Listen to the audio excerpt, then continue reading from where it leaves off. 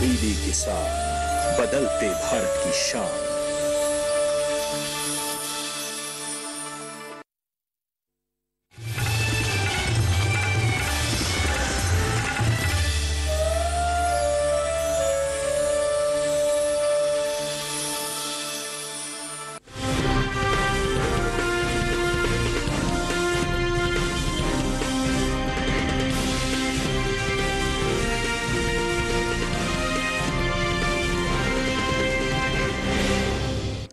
नमस्कार, आप देख रहे हैं दूरदर्शन किसान मंडी खबर में आप सभी का स्वागत है। मैं हूँ आपके साथ मोनालिसा।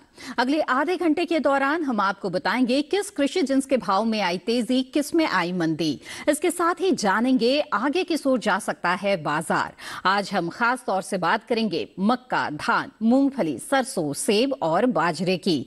इसके अलावा भी कई और कृषि जिन्सों के भाव आप मंडी खबर में जान सकेंगे। तो आइए सबसे पहले नज़र डाल लेते हैं सुर्खियों पर। ज़्यादातर मंडियों में धान की अच्छी आवक, छत्तीसगढ़ की चापा मंडी में रिकॉर्ड आवक दर्ज।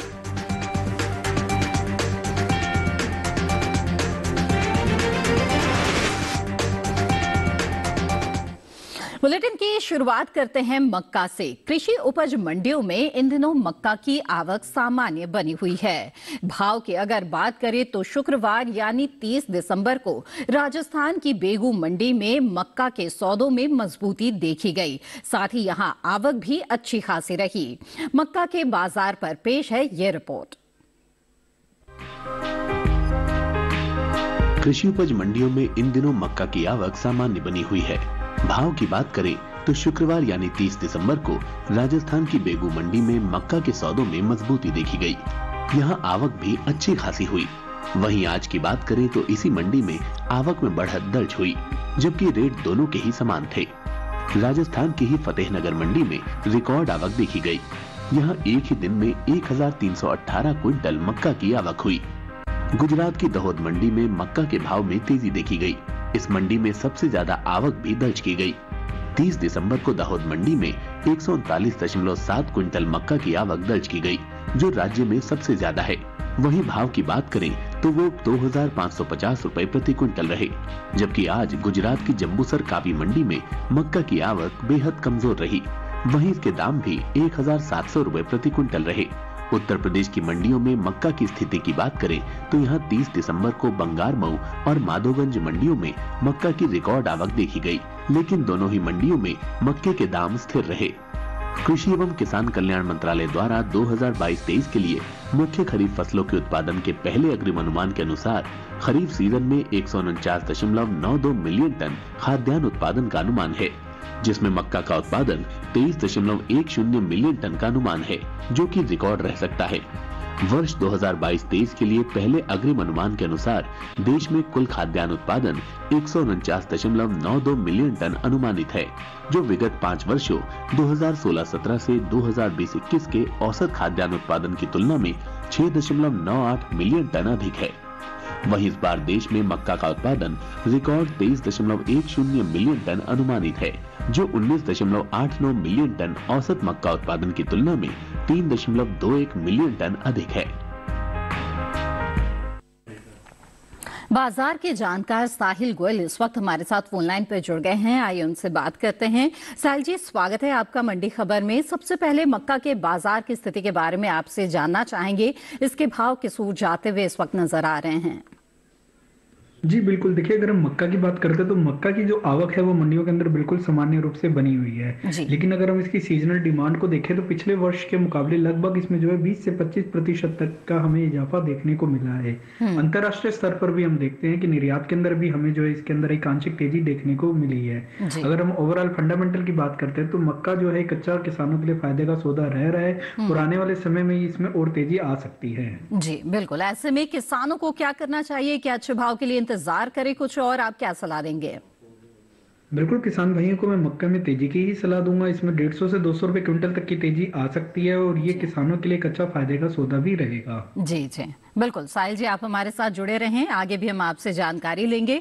तो मक्का के जो किसान हैं, वो अच्छे भाव के लिए यहाँ पर कुछ और इंतज़ार कर सकते हैं, क्योंकि स्ट्रांग फंडामेंटल्स इस वक्त बाज़ार में नज़र आ रहे हैं और मांग भी बहुत ही अच्छी निकल कर आ रही है, निर्यात की स्थिति भी अच्छी है। तो इसका फ़ायदा आप ले सकते हैं, अगर कुछ और इंतज़ार कर लें। बहरहाल, आगे बढ़ते हैं मंडी खबर में और रुक करते हैं बाकी की सुर्खियों की तरफ़। मजबूती के साथ हुए मूंगफली के सौदे। गुजरात की राजकोट मंडी में 6,250 रुपए रहे भाव। राजस्थान की बेगू मंडी में मक्का के सौदों में मजबूती आवक भी हुई अच्छी खासी।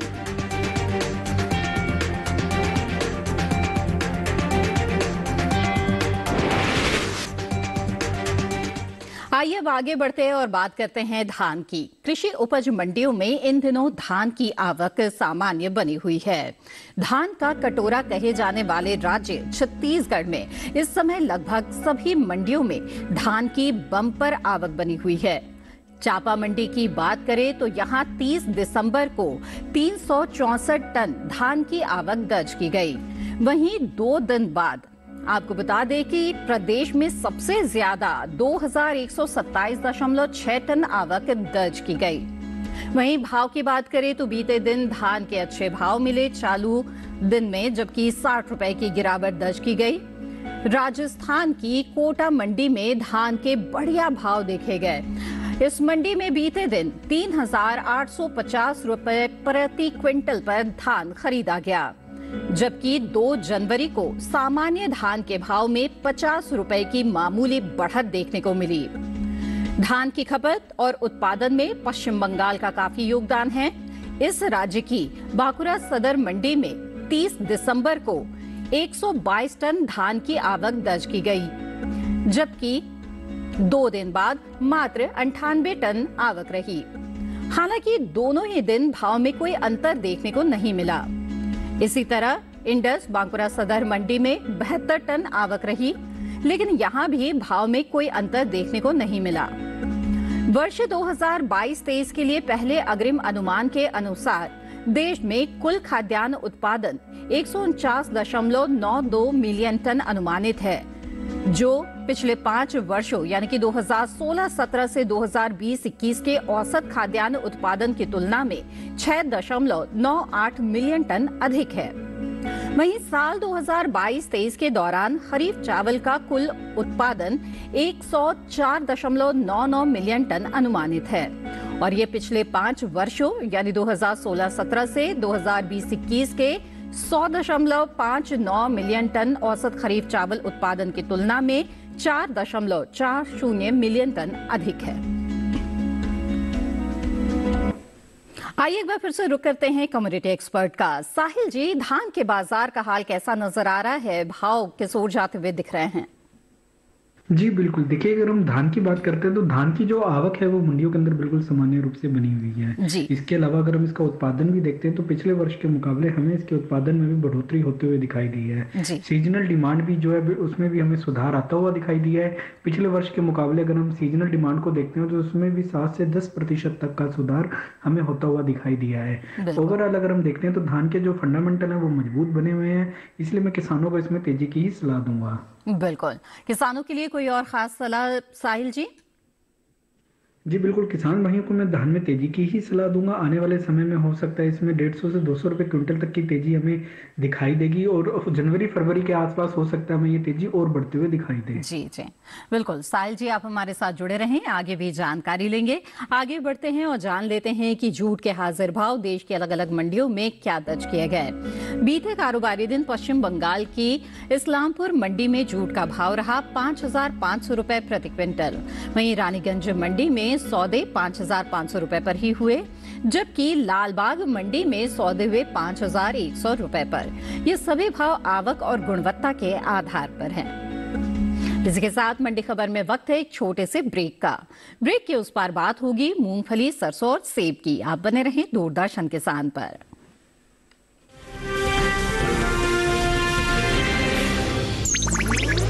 डिजिटल बैंकिंग का है जमाना। टाइम है बचाना।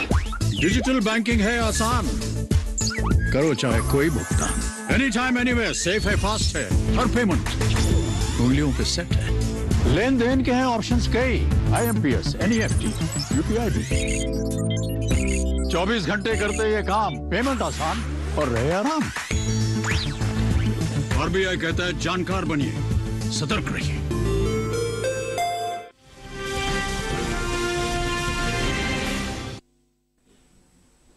ब्रेक के बाद आप सभी का फिर से स्वागत है। आप देख रहे हैं दूरदर्शन किसान पर मंडी खबर। बुलेटिन के इस हिस्से में हम जानेंगे सेब और सरसों के बारे में, लेकिन आइए पहले बात करते हैं मूंगफली की। कृषि उपज मंडियों में इन दिनों मूंगफली की अच्छी खासी आवक बनी हुई है। गुजरात की अगर बात की जाए तो गुजरात, जो कि मूंगफली का सबसे बड़ा उत्पादक राज्य है, यहाँ के राजकोट मंडी में 30 दिसंबर और 2 जनवरी दोनों ही दिन रिकॉर्ड आवक देखने को मिली। मूंगफली के बाज़ार पर पेश है ये रिपोर्ट। कृषि उपज मंडियों में इन दिनों मूंगफली की अच्छी खासी आवक बनी हुई है। सबसे पहले बात करते हैं गुजरात की। गुजरात मूंगफली का सबसे बड़ा उत्पादक राज्य है। यहाँ की राजकोट मंडी में, जहाँ 30 दिसंबर और आज दोनों ही दिन रिकॉर्ड आवक देखने को मिली है, वहीं 30 दिसंबर की तुलना में आज मूंगफली के भाव में दो रुपए की अच्छी खासी बढ़त भी देखने को मिली है। जबकि इसी राज्य की धरोल मंडी में भी दोनों ही दिन आवक बनी रही। धरोल मंडी में 30 दिसंबर को 23 टन तो आज के दिन सैतालीस दशमलव चार टन आवक दर्ज की गई। उत्तर प्रदेश की मंडियों में मूंगफली की स्थिति की बात करें तो यहाँ 30 दिसंबर और आज बेवार और चरखरी मंडियों में मूंगफली की मिली जुली आवक देखने को मिली। हालाँकि दोनों ही मंडियों में मूंगफली के दाम पाँच हज़ार आठ सौ पचास रूपए प्रति क्विंटल पर स्थिर रहे, जबकि इसी राज्य की गाजियाबाद मंडी में दाम और अन्य मंडियों के मुकाबले आठ सौ पचास रूपए ज़्यादा रहे। हालाँकि इस मंडी में आवक 30 दिसंबर को 14 टन दर्ज की गई। तमिलनाडु की मंडियों की बात करें तो यहाँ की मंडियों में काफ़ी उतार चढ़ाव देखने को मिला। तमिलनाडु की रासीपुरम मंडी में 30 दिसंबर को जहाँ भाव था नौ हज़ार नौ सौ रूपए, वही आज यानी 2 जनवरी को दो सौ रूपए की बढ़त के साथ दस हज़ार एक सौ रूपए पर स्थिर रहा। जबकि इसी राज्य की सेवर मंडी की बात करें तो यहाँ दोनों दिन आवक में अंतर के साथ साथ भाव में भी बदलाव देखने को मिले। कृषि एवं किसान कल्याण मंत्रालय द्वारा 2022-23 के लिए मुख्य खरीफ फ़सलों के उत्पादन के पहले अग्रिम अनुमान के अनुसार, खरीफ सीज़न में एक मिलियन टन खाद्यान्न उत्पादन का अनुमान है, जिसमें से वर्ष 2022-23 के दौरान देश में कुल खरीफ तिलहन उत्पादन 23.57 मिलियन टन अनुमानित है, जो औसत तिलहन उत्पादन की तुलना में 1.74 मिलियन टन अधिक है, जिसमें मूंगफली के 8.37 मिलियन टन उत्पादन का अनुमान है। जी हाँ तो रिपोर्ट आपने देखी अब आइए रुक करते हैं कम्युनिटी एक्सपर्ट का। साहिल गोयल जी लगातार हमारे साथ ऑनलाइन पर जुड़े हुए हैं। साहिल जी, मूंगफली के बाज़ार पर आपकी क्या राय है? किस तरह के संकेत उस वक्त बाज़ार से मिल रहे हैं आने वाले दिनों के लिए? जी बिल्कुल। देखिए अगर हम मूंगफली की बात करें तो मूंगफली की जो आवक है वो मंडियों के अंदर बिल्कुल सामान्य रूप से बनी हुई है। इसके अलावा अगर हम उसका उत्पादन भी देखते हैं तो पिछले वर्ष के मुकाबले हमें इसमें थोड़ा बहुत सुधार होता हुआ दिखाई दिया है। घरेलू स्तर पर हम देखते हैं कि इसकी मांग में भी अच्छा खासा हमें सुधार आता हुआ दिखाई दिया है। जैसे जैसे ठंड का सीज़न आगे बढ़ रहा है इसकी मांग में भी हमें सुधार देखने को मिल रहा है। अंतर्राष्ट्रीय स्तर पर निर्यात में भी जो हमें थोड़ी सी तेज़ी आते हुए दिखाई दिया है। लगभग पाँच से सात प्रतिशत तक का सुधार हमें वहाँ भी होता हुआ दिखाई दिया है। इसलिए हमें ऐसा लग रहा है कि आने वाले समय में मूंगफली के अंदर जो तेज़ी है, वो बनी रहेगी। बिल्कुल तो ऐसे किसान जो बिकवाली की सोच रहे हैं, वो इस वक्त क्या करे? क्या उन्हें इंतज़ार कर लेना चाहिए और अच्छे भाव के लिए? क्या आप सलाह देंगे? बिल्कुल किसान भाइयों को मैं मूंगफली में तेज़ी की ही सलाह दूँगा। गवर्नमेंट की एमएसपी पॉलिसी का भी सपोर्ट इसे मिलेगा। आने वाले समय में हो सकता है उसमें सौ से डेढ़ सौ रुपए क्विंटल तक की तेज़ी हमें और देखने को मिलेगी। जी बिल्कुल। साल जी आप हमारे साथ जुड़े रहें आगे भी जानकारी लेंगे। तो मूंगफली के जो बाज़ार भाव है इसमें और भी तेज़ी की उम्मीद जता रहे हैं कम्युनिटी एक्सपर्ट उनका मानना है कि जो मांग है वो अच्छी निकल कर आ रही है चाहे बात घरेलू स्तर पर मांग की हो या फिर अंतर्राष्ट्रीय बाज़ार से। तो ऐसे में जो किसान है वो अच्छे भाव के लिए कुछ और इंतज़ार इंतज़ार कर सकते हैं।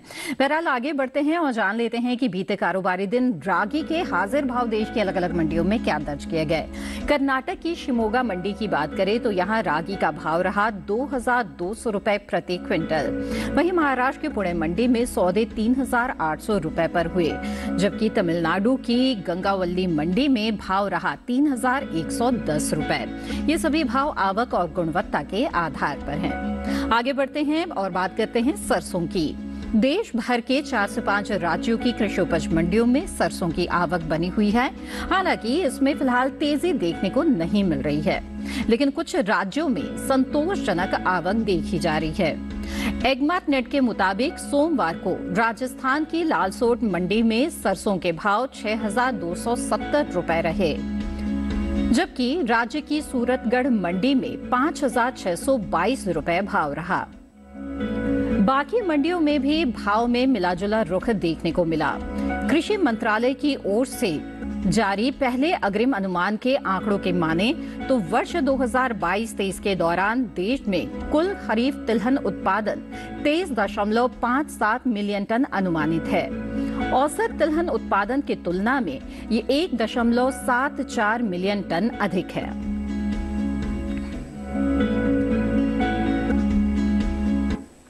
आइए अब आगे बढ़ते हैं, जान लेते हैं, सोयाबीन के हाजिर भाव बीते कारोबारी दिन देश के अलग अलग मंडियों में क्या दर्ज किए गए। शुरुआत करते हैं गुजरात की अमरेली मंडी से।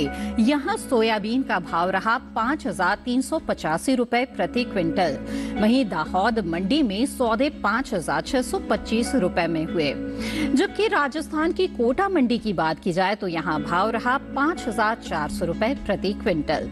तो सोयाबीन के हाजिर भाव आपने जान लिया, अब आगे बढ़ते हैं बात करते हैं सेब की। जी हाँ फल मंडियों में इस समय फलों की आवक बनी हुई है, जिसमें सेब की बाज़ार में अच्छी खासी मांग देखी जा रही है। हिमाचल प्रदेश की ऊना मंडी में सोमवार को सेब के भाव आठ हज़ार पाँच सौ रूपए दर्ज किए गए। तो वहीं इसी राज्य की चंबा मंडी में सौदे पाँच हज़ार दो सौ पचास रूपए पर हुए।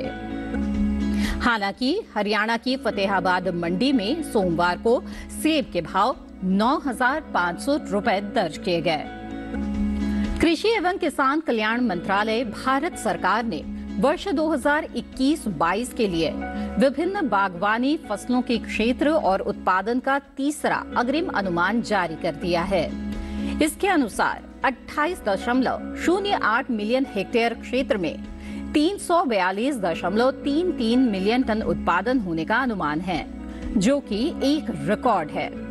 जिसमें फलों की बात करें तो उनका आंकड़ा 2020-21 में फलों का उत्पादन 102.48 मिलियन टन की तुलना में 107.24 मिलियन टन होने का अनुमान है।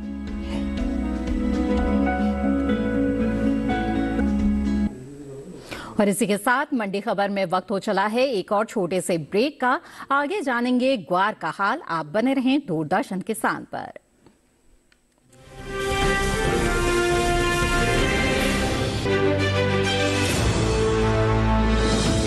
खुशहाल होंगे खेत। पशु भी रहेंगे स्वस्थ। सरकारी स्कीम का होगा लाभ। जब एक्सपर्ट्स का मिलेगा साथ। किसानों के सवाल। विशेषज्ञों के जवाब। अब सिर्फ़ एक फ़ोन कॉल पर। देखिए अपना खास प्रोग्राम हमारे टोल फ्री नंबर हैं एक आठ शून्य शून्य एक एक तीन शून्य छः शून्य एक आठ शून्य शून्य एक एक तीन शून्य छः एक। हेलो किसान। सोमवार से शुक्रवार शाम छह बजे सिर्फ़ दूरदर्शन किसान पर।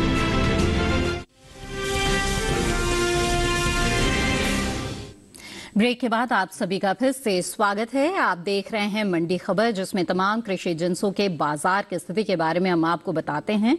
आइए इस सिलसिले को आगे बढ़ाते हैं और अब नज़र डाल लेते हैं बाजरे के बाज़ार की स्थिति पर। कृषि उपज मंडियों में बाजरे की आवक अच्छी खासी बनी हुई है। सोमवार को कुछ राज्यों की मंडियों में बाजरे की आवक देखने को मिली। एगमार्कनेट के मुताबिक गुजरात की दीसा मंडी में 2 जनवरी को बाजरे का भाव रहा 2,850 रुपए प्रति क्विंटल। जबकि इसी राज्य की अमरेली मंडी में इस दौरान बाजरे के सौदे दो रुपए पर हुए। कृषि मंत्रालय की ओर से जारी पहले अग्रिम अनुमान के आंकड़ों की माने तो खरीफ पोषक मोटे अनाज का उत्पादन छत्तीस दशमलव पाँच छह मिलियन टन अनुमानित है, जो तैतीस दशमलव छह चार मिलियन टन औसत उत्पादन की तुलना में दो दशमलव नौ दो मिलियन टन अधिक है और इसमें बाजरा भी शामिल है। आइए अब बाजरे के बाज़ार की स्थिति के बारे में समझते हैं। कम्युनिटी एक्सपर्ट से साहिल गोयल जी लगातार हमारे साथ फ़ोन लाइन पर जुड़े हुए हैं। साहिल जी, जानना चाहेंगे अब बाजरे के बारे में, इसके भाव की शोर जाते हुए आपको इस वक्त नज़र आ रहे हैं? जी बिल्कुल। देखिए अगर हम बाजरे की बात करते हैं तो बाजरे की जो आवक है वो मंडियों के अंदर बिल्कुल सामान्य रूप से बनी हुई है।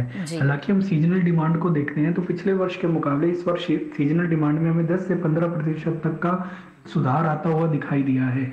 और इस वर्ष हमने देखा है कि सीजनल डिमांड भी जो है थोड़ी सी हमें लेट आते हुए दिखाई दी है। इसके अलावा अगर हम निर्यात देखते हैं तो निर्यात की स्थिति में भी जो है हमें आंशिक सुधार आता हुआ दिखाई दिया है। गवर्नमेंट की एमएसपी पॉलिसी का भी फ़ायदा इसको मिलेगा इसलिए हमें जो बाजरे के अंदर तेज़ी का ही अनुमान लग रहा है। बिल्कुल। जिन किसानों के पास बाजरे का स्टॉक रखा हुआ है और वो चाह रहे हैं कि बिकवाली करें उन्हें आप क्या सलाह देंगे? क्या ये समय सही होगा? या फिर कुछ और इंतज़ार कर ले तो उन्हें बेहतर भाव मिल सकता है? क्या है आपका सुझाव? बिल्कुल किसान भाइयों को मैं बाजरे में तेज़ी की ही सलाह दूँगा। इसमें हमें जो है डेढ़ सौ से दो सौ रुपए क्विंटल तक की तेज़ी आने का अनुमान लग रहा है और फरवरी के बाद हो सकता है सीजनल डिमांड में जिस तरीके से सुधार होता हुआ लग रहा है आने वाले समय में हो सकता है ये तेज़ी हमें ढाई से तीन सौ रुपए क्विंटल तक जाते हुए दिखाई देगी। बिल्कुल। साहिल जी, आप लगातार हमारे साथ मंडी खबर में जुड़े रहें और तमाम कृषि जिनसों के बाज़ार की स्थिति के बारे में और आने वाले दिनों के अनुमान के बारे में अपनी राय साझा की। आपका बहुत बहुत धन्यवाद हमारे साथ जुड़े रहने के लिए। तो जैसा कि कम्युनिटी एक्सपर्ट का मानना है कि जो बाजरा है, उसकी कृषि उपज मंडियों में सामान्य आवक इस वक्त बनी हुई है और घरेलू स्तर पर जो मांग है, उसमें भी पहले की तुलना में सुधार देखा जा रहा है। इसके साथ ही अंतर्राष्ट्रीय बाज़ार में भी जो मांग है, यानी कि जो निर्यात की स्थिति है, उसमें भी कुछ सुधार आया है। तो ये जो मांग इस वक्त थोड़ी निकल कर आ रही है इसका फ़ायदा आने वाले दिनों में किसानों को और भी मिल सकता है यानी कि भाव में तेज़ी देखी जा सकती है। साथ ही सरकार की जो एमएसपी पॉलिसी है उसका भी लाभ किसानों को मिल सकता है। तो किसान अगर कुछ और इंतज़ार कर ले हो, हो सकता है कि उन्हें इस वक्त से बेहतर भाव उन्हें आने वाले दिनों में मिल जाए। तो बहरहाल ये तो बात हुई बाजरे की। आइए अब आगे बढ़ते हैं जान लेते हैं कि शिमला मिर्च के हाजिर भाव देश के अलग अलग मंडियों में बीते कारोबारी दिन क्या दर्ज किए गए। शुरुआत करते हैं हरियाणा की फतेहाबाद मंडी से। तो आपको बता दें कि यहाँ पर शिमला मिर्च का भाव दर्ज किया गया दो हज़ार आठ सौ रुपए प्रति क्विंटल। वहीं हिमाचल प्रदेश की हमीरपुर मंडी की बात करें तो यहाँ पर सौदे तीन हज़ार एक सौ रुपए पर हुए। और अगर गुजरात की सूरत मंडी का रुख करें तो यहाँ भाव रहा एक हज़ार चार सौ रुपए। यानी कि कुछ अंतर है देश के अलग अलग मंडियों में शिमला मिर्च के भाव में, क्योंकि ये सभी भाव जो है वो आवक और उसकी गुणवत्ता के आधार पर बताए जाते हैं। बहरहाल, यहाँ पर आइए, अब आगे बढ़ते हैं और देखते हैं कि आंवले के सौदे किस तरह से हुए देश की विभिन्न मंडियों में। तो आपको बता दें कि महाराष्ट्र के नागपुर मंडी में बीते कारोबारी दिन आंवले का भाव रहा दो हज़ार आठ सौ पचहत्तर रूपए प्रति क्विंटल। वहीं पुणे मंडी में भाव रहा दो हज़ार पाँच सौ रुपए।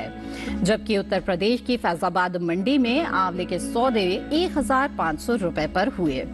जी हाँ तो ये बात हुई आंवले की और अब आगे बढ़ते हैं, नज़र डाल लेते हैं कपास के हाजिर भाव पर और देखते हैं बीते कारोबारी दिन किस तरह से कारोबार हुआ कपास का। गुजरात की धोराजी मंडी की बात करें तो यहाँ पर भाव दर्ज किया गया आठ हज़ार तीन सौ तीस रुपए प्रति क्विंटल। वहीं मध्य प्रदेश की खातेगांव मंडी में जो कपास के भाव है, वो आठ हज़ार एक सौ पचास रुपए दर्ज किए गए। जबकि राजस्थान की सूरतगढ़ मंडी की बात करें तो यहाँ भाव रहा आठ हज़ार पाँच सौ नब्बे रुपए। बहुत ज़्यादा अंतर नहीं है इन राज्यों की मंडियों में कपास के भाव में। आप देख सकते हैं कि आठ हज़ार से साढ़े आठ हज़ार के आसपास जो है, इसके भाव यहाँ पर चलते रहे हैं और ये सभी भाव जो है, वो आवक गुणवत्ता के अनुसार है। और इसी के साथ आज के मंडी खबर में बस इतना ही। उम्मीद है कि किसानों को अपनी उपज का सही भाव लेने में मंडी खबर से मदद मिल रही होगी। क्योंकि मंडी खबर में हम तमाम बातें आपको बताते हैं। बाज़ार से जुड़ी हुई अलग अलग राज्यों में अलग अलग मंडियों में भाव किस तरह से चल रहे हैं, उत्पादन की क्या स्थिति है, मांग की क्या स्थिति है और आवक किस तरह की चल रही है। तो हमें उम्मीद है कि इन बातों का फ़ायदा आपको ज़रूर होता होगा। और अगर आप दूरदर्शन किसान के यूट्यूब चैनल पर देखना चाहते हैं मंडी खबर तो टीवी स्क्रीन पर दिखाई जा रही इस क्यूआर कोड को स्कैन करें। और इसी के साथ मुझे दीजिए इजाज़त। आप बने रहें दूरदर्शन किसान पर। नमस्कार।